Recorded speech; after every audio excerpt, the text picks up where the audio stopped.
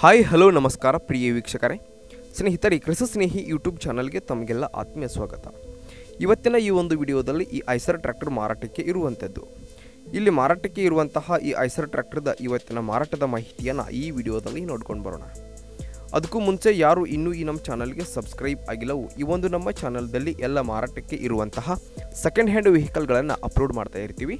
ಅದಕ್ಕಾಗಿ ಈ ಕೂಡಲೇ ಈ ನಮ್ಮ ಚಾನಲ್ಗೆ ಸಬ್ಸ್ಕ್ರೈಬ್ ಆಗಿ ಹಾಗೆ ಇವತ್ತು ಇಲ್ಲಿ ಮಾರಾಟಕ್ಕೆ ಇರುವಂತಹ ಈ ಐಸರ್ ಟ್ರ್ಯಾಕ್ಟರ್ದ ಮಾರಾಟದ ಮಾಹಿತಿಯನ್ನು ನಾವು ಇಲ್ಲಿ ನೋಡುವುದಾದರೆ ಐಸರ್ ಫೈವ್ ಫೋರ್ ಏಟ್ ಇದು ನಲವತ್ತೆಂಟು ಎಸ್ ಪಿ ಟ್ರ್ಯಾಕ್ಟರು.